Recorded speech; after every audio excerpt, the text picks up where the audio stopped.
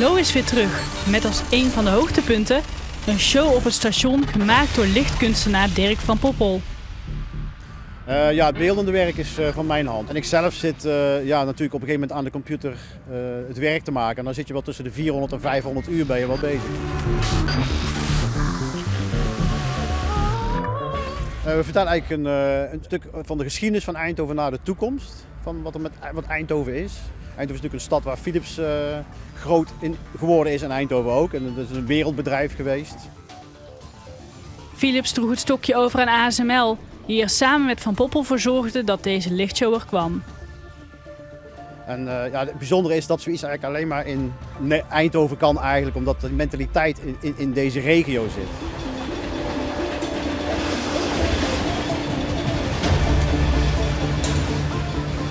Gaat u straks ook tussen het publiek kijken hoe iedereen reageert? Ja, absoluut. Ik ga zelf gewoon tussen zitten en dan uh, probeer ik zoveel mogelijk te luisteren wat ze zeggen. En ik vind dat een heerlijk moment om, uh, ja, om dat uh, op te nemen.